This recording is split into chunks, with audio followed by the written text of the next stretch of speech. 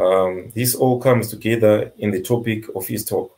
Without further ado, um, I welcome our speaker. Uh, over to you, Arjen. Hi, good evening, or good morning, good afternoon, wherever you are. Here in the Netherlands, it's evening. Uh, let me share my screen. And hopefully that will work. Uh, here we go. Um, so indeed, my talk is on a tool called HYDRAFlood. We'll get in the acronym later, which is an open source tool for uh, flood monitoring. Um, but before we go there, um, well, this is what I'd like to discuss uh, today. Uh, brief introduction, uh, move into a little bit of background, and uh, show the applications we currently have, and then end with uh, the developments that we're currently working on. Uh, but first of all, what is Deltares? Um, we are an independent institute for applied research. And we mainly deal on the topic of uh, water, subsurface, and infrastructure. And we uh, have a firm conviction for open source. So, uh, very happy to be here at FOSS4G. Uh, you can see here our mission goals, which were recently redefined. Um, they all state deltas in them, just as in our name. Uh, but we see delta in a very broad uh, spectrum in the sense that anything that is uh, even remotely connected to a delta, that's something that we uh, also are interested in. So we also deal with upstream catchments. Uh, they always end up in the delta anyway. And what is SERVIR? Um, well, Isaacson already briefly touched upon it. It is a joint initiative by USAID and NASA uh, with various hubs uh, across the globe, as you can see on this uh, picture. And uh, in the Mekong hub, which is in Southeast Asia, uh, this one is led by the Asian Disaster Preparedness Center, ADPC, and then a consortium of parties with the Stockholm Environment Institute, uh, Spatial Informatic Groups, and Deltares. That's us. And I think SERVIR has a nice slogan, which is uh, connecting space to village. And it, it really lives up to this as well. It, it's a uh, very much, uh, even though it's a very large program with USAID and NASA all across the globe, they really use a stakeholder centric approach, uh, bottom up, uh, really driven by local needs. Uh, and then try to bring in the best space technologies to to help them. So indeed, connecting space to village. Um, I was sadly a little bit late, so I don't know uh, how much background information Earth, Earth, observation has already been going on.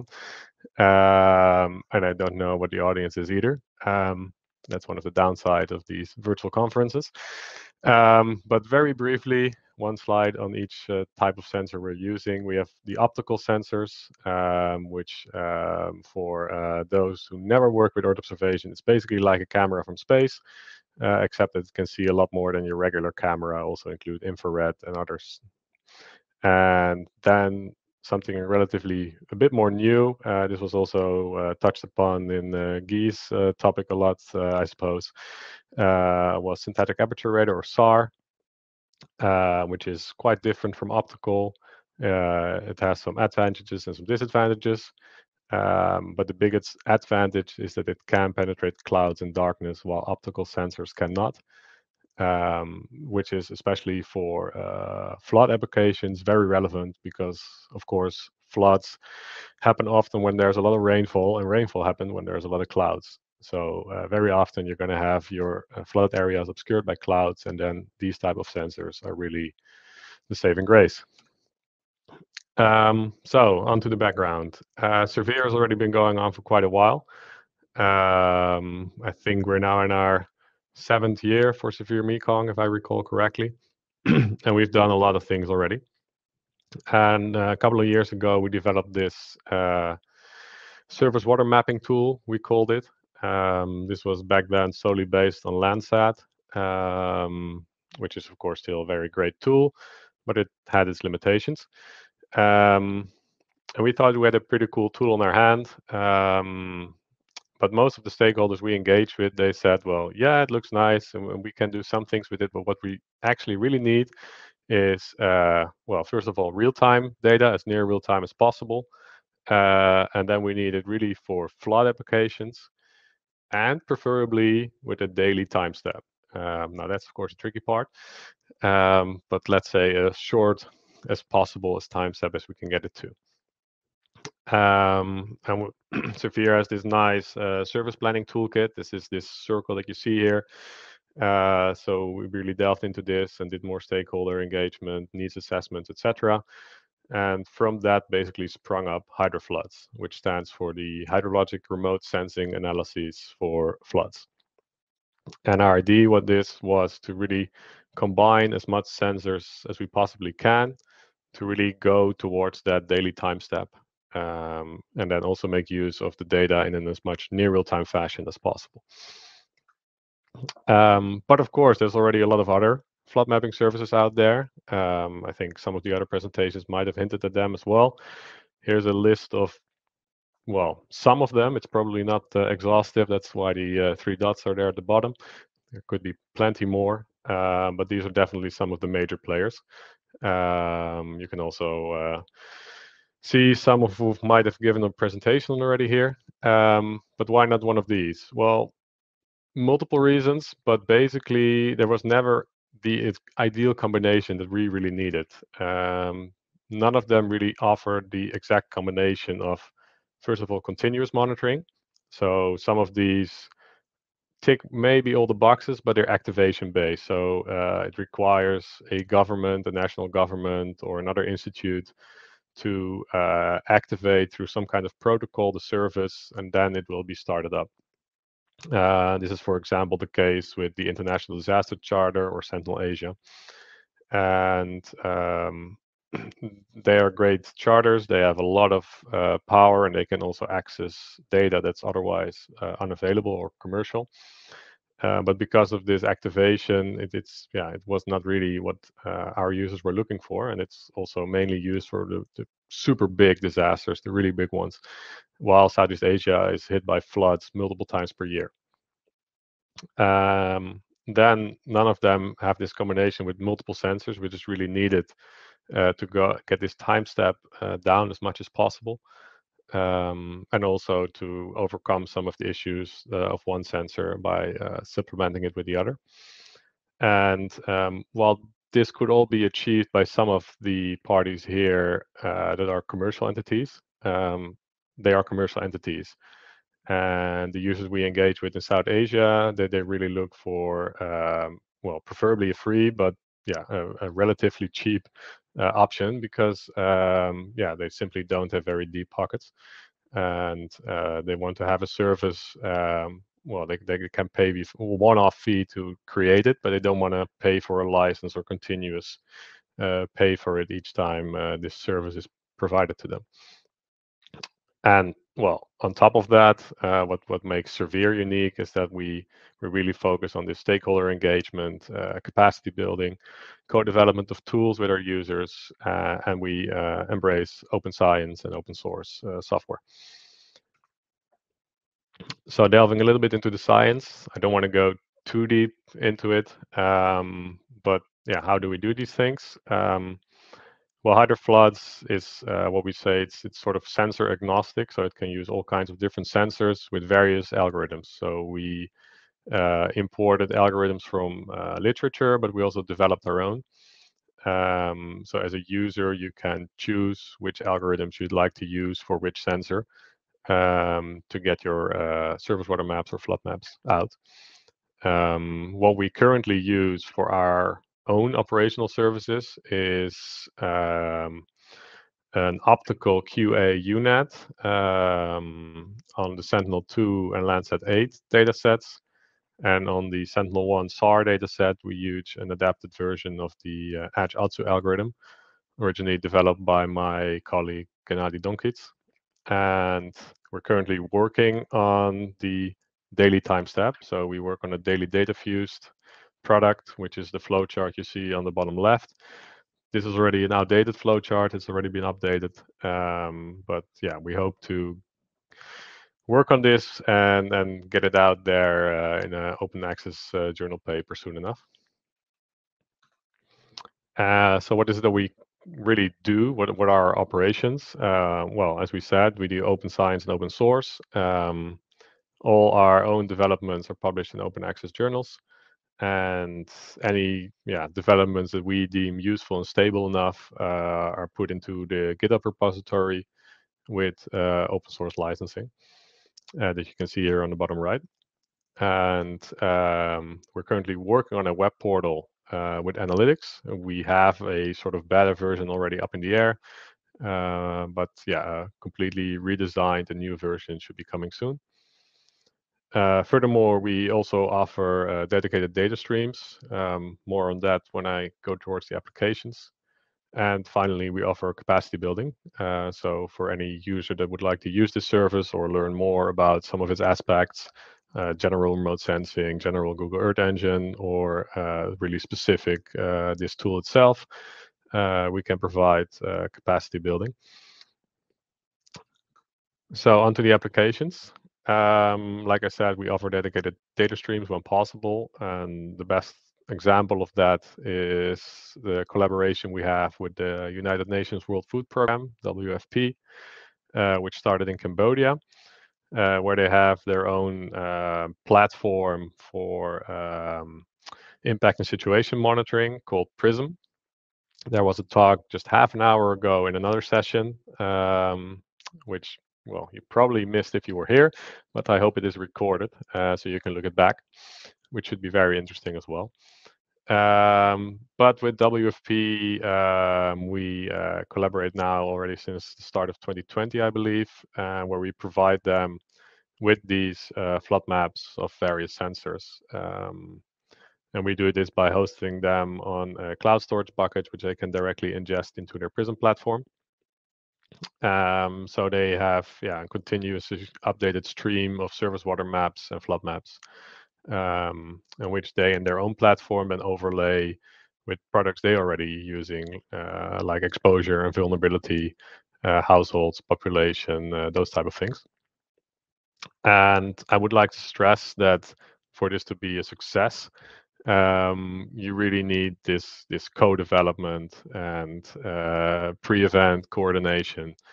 Um, you can't simply just yeah throw a service over the fence and, and hope that others will use it uh, in the way it's intended. Um, that's that's usually not the most effective approach. Um, so this was also a core part of uh, this collaboration. And well, uh, sadly, um, it was already put to the test quite quickly. Uh, Cambodia was hit by uh, pretty severe floods in uh, October 2020. 2020 seemed to be a pretty bad year for floods overall, uh, and Cambodia was no exception. Um, luckily, then uh, we did have uh, the data streams already available and uh, accessible by WFP in Prism, and they could also share this with the uh, regional and national authorities. Um, and so it was already yeah, put to use in the field, uh, and it helped relevant actors understand how the flood was evolving over time you can see in the, the movie here, which are just a few snapshots uh, throughout the month of October, that this flood was really evolving over time and hitting different areas in different periods um, due to the yeah the rainstorm um, um, characteristics that were covering the area uh, caused by multiple typhoons. Um, but uh, yeah, at least it was put to good use and it's also being used for more long-term planning um, because it yeah it really allows you to see yeah where's the floodwater coming from and where is it going? So what can we do to prevent this in the future? Um, we also did a internal uh, research and development study um, by coupling this with a tool called RA2CE which is really geared towards uh, infrastructure um, especially infrastructure networks. So you can think of roads, but also pipelines, uh, electricity, or other types of things. Uh, in this study, we focused on roads, and uh, we chose a study area near Mandalay in Myanmar, which was hit by a bad flood in 2019, I believe. And this tool allowed us to uh, check uh, which roads were flooded, which areas were inaccessible, And here we specifically focused on hospitals. So we could see which hospitals were harder to reach for certain communities, or if certain communities were even cut off completely from hospitals, um, which is, of course, not a good thing during a flood. Uh, the idea being this, yeah, you could use this uh, in a real-time fashion as well, uh, because yeah, that's what we do uh, operationally as well um, so that you could really use this to steer logistics of your uh, disaster relief during uh, an ongoing flood event. Um, moving on to the uh, developments. So we're currently involved in a lot of, well, let's say external activities. Um, one of the exciting things is uh, there's a big project by ESA, the World Water Surface Water Dynamics, uh, who hosted a round robin exercise, uh, well, already a, a, few months ago, uh, where a lot of different institutions uh, tried to see, uh, yeah, what what's what's really the best way to map surface water, um, and then yeah, what are the lessons learned from this? And that's something we're still working on. Um, we are working on uh, ICEYE data. So ICEYE is a um, well New Space, it's sometimes dubbed uh, a commercial satellite provider of uh, SAR CubeSats. So um, Sentinel-1 is one of the most amazing satellites out there, but uh, especially in Asia, you only get one image uh, every couple of days. And ICEYE can offer one image every 24 hours, but it's a paid uh, data product. It's a commercial entity and uh, through this ESA third-party mission, you can get access to the data and yeah, at least explore its potential. Uh, we're also part of the uh, Anticipation Hub, which is a group of humanitarian actors set up by the Red Cross uh, to really focus on anticipatory action.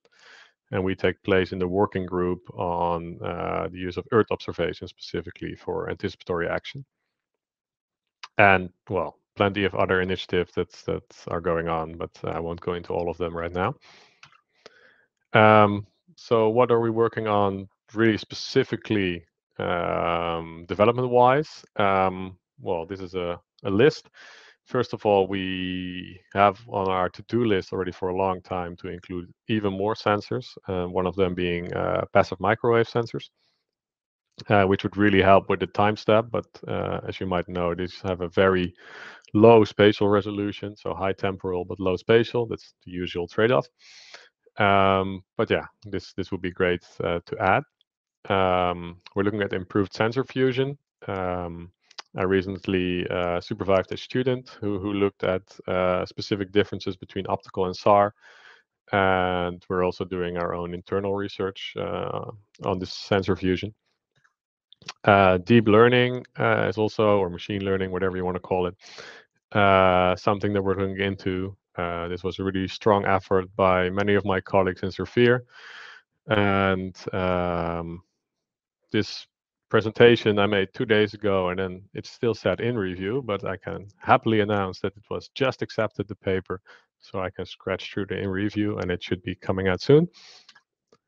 Um, we're also looking at flood depths. Um, this is something also that's that's yeah uh, our users really expressed that this is something they would like, and we always at the beginning said, well, yeah, that's just sort of impossible. Uh, but now that we have most of the other things worked out, we can start to look into this.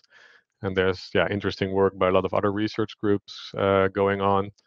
Um, and the ones we found most promising was the work by Cohen and Peter, who have a tool called the flood water depth estimation tool. And this is something we're playing around with and seeing if we can add on our own developments to really go more towards uh, flood depths as well. Um, and that also links to the next topic, which is yeah impacts and analytics. Um, because for most of the flood impacts, it really helps if you know notice flood depths, uh, especially if you want to go towards damage. And this is where another uh, master thesis comes in that I recently uh, supervised, which really specifically looked at agricultural damage uh, in a case study in Cambodia. But of course, there's a lot of other things that you can think of, uh, especially like affected population, which is, of course, a very important one, uh, but also a very tricky one because, yeah, you could simply overlay a population map with your flood map, which is what has been done um, by a lot of other groups as well. And while that gives sort of a first estimate indication, it, it's not really affected population because um, well, first of all, uh, people can be somewhere else. Um, they, they might not be where they are now. They might be at work. They might be on vacation. They might have known that this flood was coming and they would be evacuated. On the other hand, they are still affected in a sense if their house is flooded and they are not flooded. Um, but that also goes further. For example, if a, a farmer has all his fields uh, flooded, um, yeah, I would say he is affected, even though his house and himself might not be flooded. And there's a lot of other factors at play there that really, inv- yeah, influence this this affected population that makes it really hard to uh, narrow it down. But yeah, we we look forward to working on that. Um, the web portal, something I already mentioned, uh, should be coming soon as well. And we're also trying to engage with other actors and other stakeholders um, always so that's it. Um, if you have any questions, I'd love to hear them. We have uh, 10 minutes left, right on time. And if you want to contact me, here you have uh, the relevant details. Thanks. Okay, uh, thank you, Arjen, for for the presentation, and uh, I really uh, liked the, the, the demonstration of the Cambodia uh, uh, case whereby it was showing how the flood was evolving uh, with time during that month of October. And um, to everyone who wants to contact our speaker, it, there are the contact details. And um, to those joining us, please, if you have a question, please leave in the in the questions section. Um, because right now currently we don't have a question in the in this in that section but i think um, those who are joining us might actually even uh, send us send you uh, or forward you some questions uh, relating to your presentation so that's all that's of course fine uh, if anybody has a question right now it's more convenient if you yeah ask it now because then otherwise others might benefit. But uh, feel free to contact me over email or uh, other mediums. That's also fine. Yeah, yeah, that, that is true. Yeah. So I'll just leave them up up a bit, uh, the details, uh, the screen with the details, so that uh, we give anyone who is joining us uh, to maybe even uh, follow you on LinkedIn and also uh, look at the HYDRAFloods too, and also some information on that. Yeah. Yeah, good point.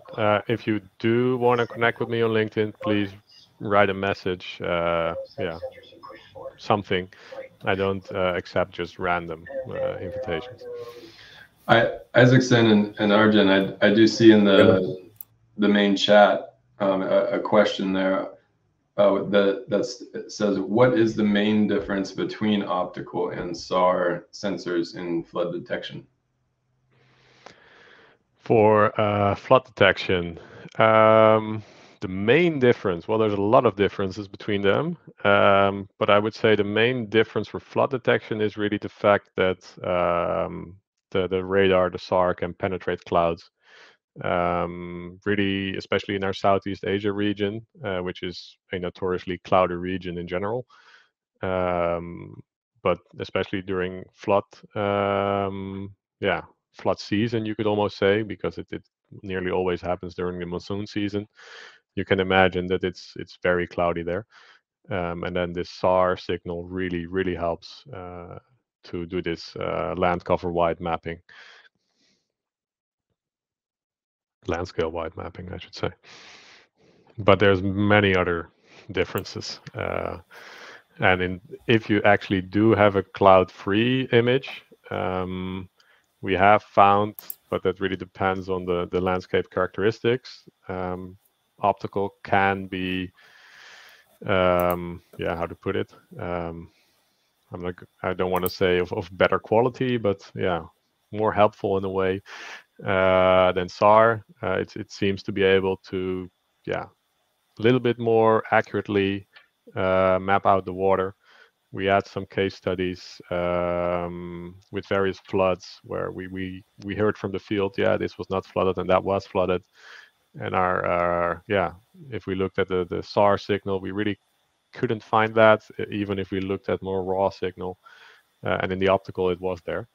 But this is really, yeah, looking at relatively small areas for for really uh, the bigger picture. Uh, SAR is is excellent.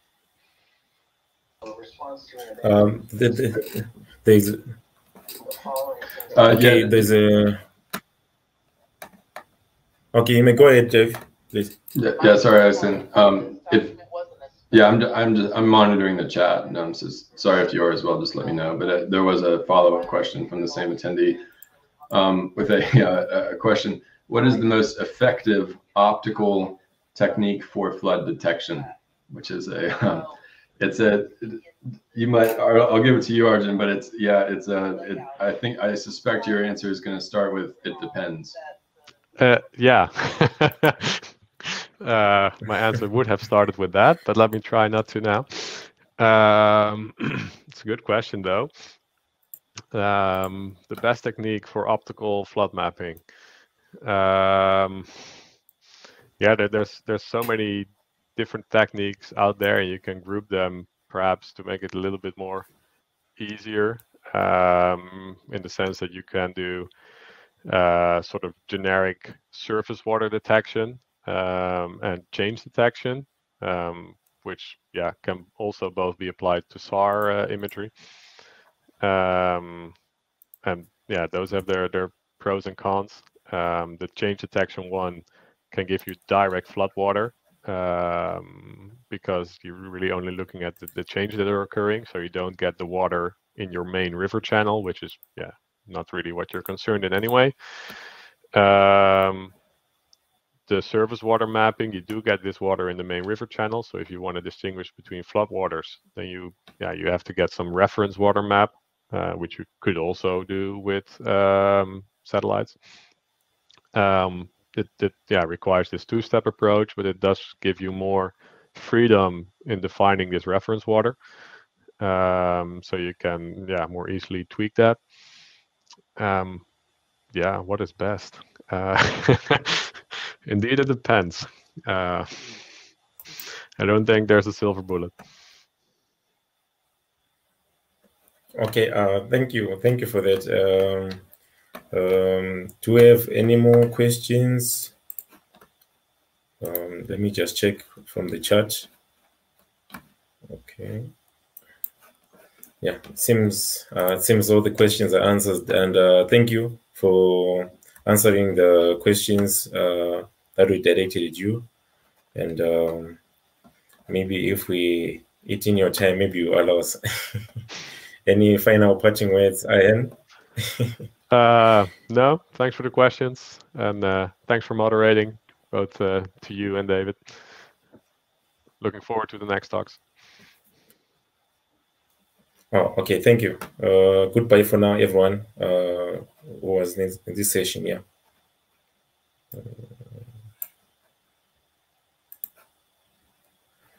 Um,